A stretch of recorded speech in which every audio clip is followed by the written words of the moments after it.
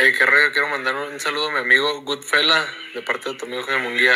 Un abrazo, canal. Ánimo. All right. Up earlier than usual. Gotta shoot a move before I go to work. Work. but yeah, Al Haymon met with Canelo. Um, they said it was Monday. I, I think it was yesterday, Thursday. Um, I don't know when I'm gonna post this video, but he met with him and he told him no David Benavidez for May. And it boils down to Jamal Crawford, Terence Crawford. I mean, shit, Jamal Crawford, Jamal Charlo, Terence Crawford, and Jaime Munguia. So I kind of get the feeling that it's gonna be Munguia, and I'll explain why. But you know, things change. He just said no Benavidez for May. Um, you know, and I we talked about that interview that Marcus Villegas posted where he translated Canelo speaking in Spanish, and he basically was saying that they was asking about David Benavidez, some of the Mexican reporters, the media there.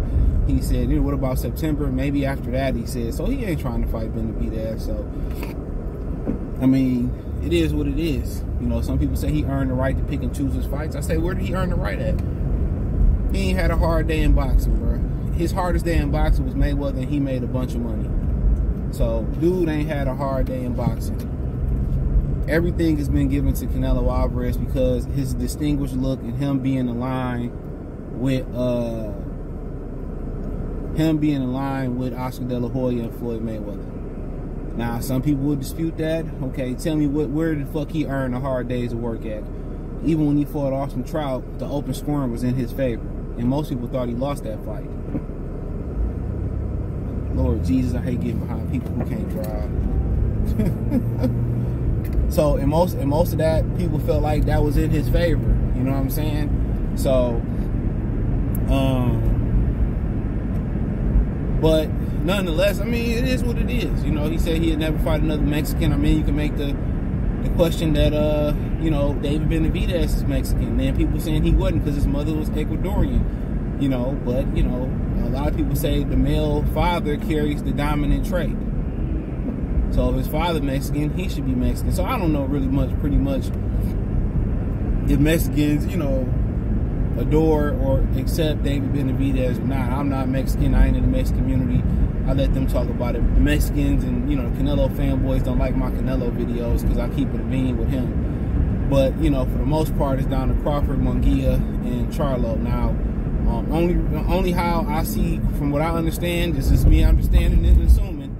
So assumption can get you in trouble. What I understand, it'd have to be will Munguia lose the Ryder or, or suffer some type of damage and Jamal Charlo's not ready. So, you know, Terence Crawford is third in the rotation. That's my understanding of it. Terence Crawford is third in the rotation for the fight. Now, it could be a point where Munguia do lose the Ryder. I mean, he damn near lost to Derevyanchenko. A lot of people thought Derevyanchenko was over the hill.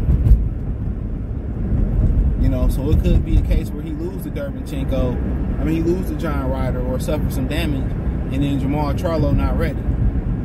So you got to understand when you say no Benavidez, Benavidez name ain't even in the running for May. You know they said they may do it in September. My thing is if, it's month, if they gonna do uh, Munguia next, then it's gonna probably be Jamal in the sep- September.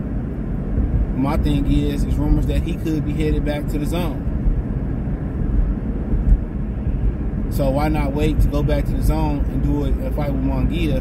But then again, you know, Eddie Hearn, I mean, uh, Oscar De La Hoya and Al Haymon got a better working relationship than Eddie Hearn and Oscar De La Hoya, and let alone Eddy Reynoso, Canelo, and Oscar De La Hoya. So from that standpoint of view, they kind of make a bunch of sense.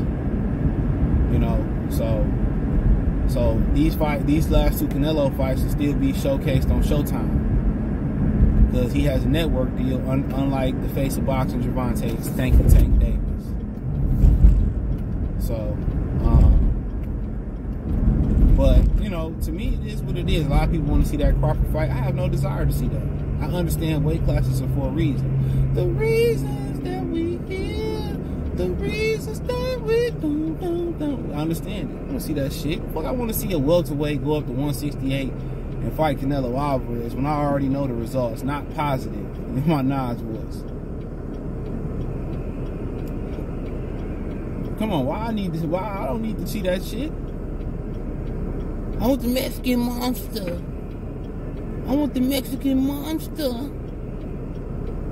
Come on, buddy, you can turn. Whatever you the dumb truck, bro. These dudes out here taking their time, bro. But uh but yeah, man, that's not, I mean I I you know Crawford or Jermall Charlo, that's tough one. You know, I rather see. I don't know, man. I rather. See, I don't want to see him fight Crawford, bro. Like that's just too much size difference, bro.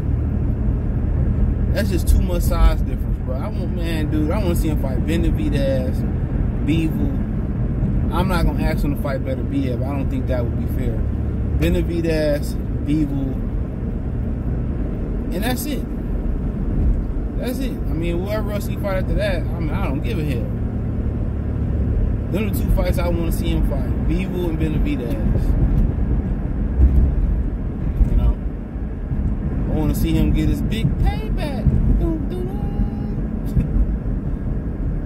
so, yeah, that's the fights I want to see him in. I want to see no Crawford. And Munguia, man, come on, man. How you to fight Munguia? He ain't even get no title at, one, at 160. Let's just let you know, bro. They, these these dudes, you know, they playing four corners, man. You know, De La Hoya talking about the best need to fight the best, but Munguia won't fight for a title at 160. They tried for Jermall. Why not fight Janibek? So Canelo might fight Munguia, who couldn't get a title at 160, but could jump up and fight for undisputed at 168. The WBO got him ranked number one in the WBO at 168. I'm just telling you, man, it's corruption, bro. A dude who bagged out of title fights. And I like Munguia, don't get it twisted, bagged out of title fights. How you gonna fight a guy who didn't get a title at his previous weight class but jump up to 68 and fight and fight the king, King Canelo? He should have to fight a Caleb Plant or somebody like that. And that would make sense because Benavidez already knew this. Yep, yep, yep. Benavidez already knew this. You know, he already knew that uh he that's why he was trying to get Munguia in the ring so damn bad. Cause he knew Munguia was he was gonna try to fight Munguia. And that's why, you know, he trying to get Jermall Charlo now. He said he wanna fight Jermall Charlo. He trying to cut off Canelo opponents before Canelo gets him. But Canelo gonna peep that strategy out. Al Haymon gonna show loyalty to Canelo because he showed loyalty not to seniority, you know, he showed loyalty, and you know, his first step of showing loyalty is to that bag. That's why I always tell y'all, it's, it's a very dangerous relationship when you're dealing with somebody that put money above everything, money above they they belief, money above their principles, money above their kids, money above their family. You know, because when you're dealing with somebody that put money above everything, bro, that mean they they'll do anything to your ass. You know, a lot of y'all be messing with these sack chasing women and they loyal to the money and they not loyal to nothing else, let alone you. What you what you think what you think the play gonna be? They gonna set your ass up. Or when the time is right, they gonna take your ass to divorce divorce court, child support court and clean you out. Same thing with homeboys. Niggas set you up and rob your whole crib and act, and act like he had nothing to do with it. See, dealing with people that put money first, they don't have no morals, man. They don't have a code. The only code they got is to the money. You leave them ninjas where they be at. Because they going to be miserable. But nonetheless, but that's how it's laying out. Now it's going to play out for him, it look like. So, um, you know, Jamal Charlo, they should be trying to put him right back in another fight. You know, you can tell in his face he all fucked up. You can see his face sunken in and you know, and a lot of our problems, we create them ourselves, man. We really do. You know, you gotta take responsibility what you did, you know, and hopefully get another opportunity say it won't happen. Talented fighter. Nigga had a bad 2024, but 2023, at least he ended off on a winning note. Oh. I felt like he supposed to stop Jose Benavidez, but there's only one man that stopped Jose Benavidez in 12 rounds, and that's the best fighter in the world right now, Terence Crawford. So that's that's understandable. He had to knock him out with a punch that he didn't see coming, an uppercut.